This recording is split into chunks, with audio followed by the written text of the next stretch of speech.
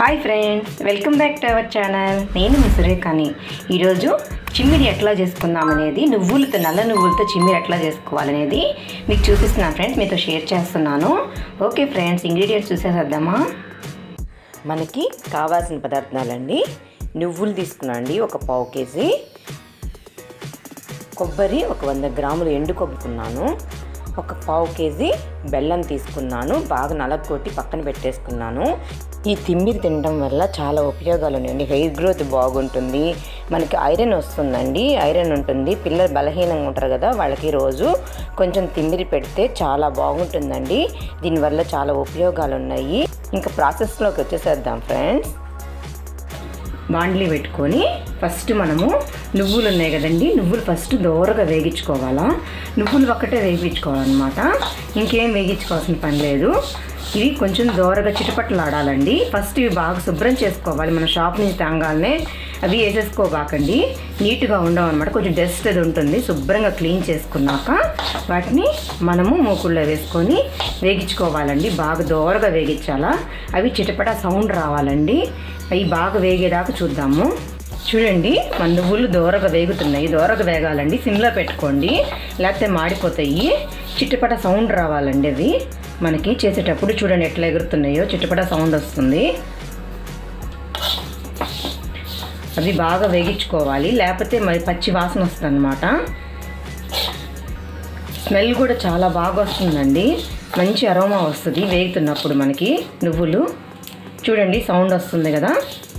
అట్లా చిటపట సౌండ్ రావాలి. అప్పుడు అవి నువ్వులు మంచి నువ్వులని లేకపోతే నువ్వులు మంచి కావని టేస్ట్ కూడా బాగోదు. మనం చూసి తెచ్చుకోవాలి ఆ నువ్వుల్ని? చూడండి మన నువ్వులు బాగా వేగుతున్నాయి. నువ్వులు మనం పట్టుకొని చూడాలన్నమాట. ఇట్లా పట్టుకొని చూస్తే ఇదిగో ఇట్లా. ఇట్లా అంటే ఇంకా కొంచెం వేగాలి పొడిగిపోవాలండి అప్పుడు మనకి నువ్వులు బాగా వేగిపోయినట్టు లెక్క.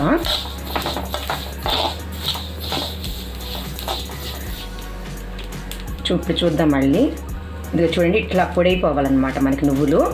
పొడైపోతే అప్పుడు మనకి వేగిపోయినట్టు అనమాట ఇంకప్పుడు స్టవ్ ఆన్ ఆపేసుకున్నాము. ఆపేసుకొని ఒక టెన్ మినిట్స్ చల్లారనిద్దాము. ఆ నువ్వులు చల్లారిపోయినాయండి. మనం మిక్సీ జార్ పట్టుకుందాము మిక్సీలో ఫస్ట్ నువ్వులు వేయాలి. బెల్లం వేయకూడదు. బెల్లం వేస్తే మళ్ళీ మెదగదనమాట మనం కచ్చా పచ్చాక ఫస్ట్ నువ్వులు వేగించినాక అప్పుడు బెల్లం వేయి వేసుకుందాము చూపిస్తాను మళ్ళీ. మిక్సీ వేసుకొని వస్తాను ఫస్ట్ నువ్వుల్ని. చూడండి మనం ఇట్లా పట్టుకోవాలన్నమాట. మిక్సీ చూడండి ఇట్లా బరకగా పట్టుకోవాలి. మరీ సాఫ్ట్గా పట్టుకోబాకండి బాగోదు. అప్పుడు దీంట్లో మనం కొబ్బరి తీసి పెట్టుకున్నాం కదా ఇదేం వేగించక్కర్లేదు పచ్చి కొబ్బరి వేసుకోవాలి. ఎండు కొబ్బరి వే సారీ ఎండు కొబ్బరి వేసుకోవాలి. పచ్చి కొబ్బరి కాదండి అది ఎండు కొబ్బరి తురుముకొని అది పెట్టుకోవాలన్నమాట. నేను ఎండు కొబ్బరి తెచ్చుకున్నాను సపరేట్గా అట్లాగే తురుము తెచ్చుకున్నాను. నేను అది వేసుకున్నానండి. ఇప్పుడు దీన్ని మిక్సీ పట్టుకోవద్దాం ఒక ఒక తిప్ ఒక రౌండ్ వేయాలన్నమాట. ఒక రౌండ్ వేసిన తర్వాత మళ్ళీ బెల్లం కలుపుదాం. చూపిస్తాను అది కూడా. చూడండి మన కొబ్బరి కూడా కలిసిపోయింది. ఇప్పుడు దీంట్లో మనము బెల్లం ఉంది కదా దంచి పెట్టుకున్నాం కదా దంచి పెట్టుకున్న బెల్లాన్ని కూడా మనం దీంట్లో మొత్తం వేసేసుకున్నాము వేసుకొని ఒక రౌండ్ రెండు రౌండ్స్ వేసుకోవాలండి.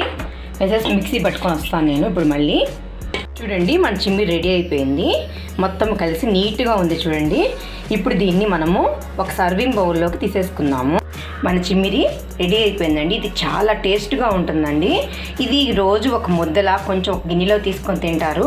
లేదా కొంతమంది అంటే ఉండ చేసుకోవాలి అనుకుంటే ఉండని ఏంటంటే మనము కొంచెం నెయ్యి వేసుకొని నెయ్యి కరిగించుకొని నెయ్యి వేసుకొని ఉండ తయారు చేసుకోవటమేనండి. కానీ మాకు ఇట్లాగే ఇష్టపడతారనమాట అందుకని నేను ఇట్లాగే చేస్తు చేస్తున్నానండి.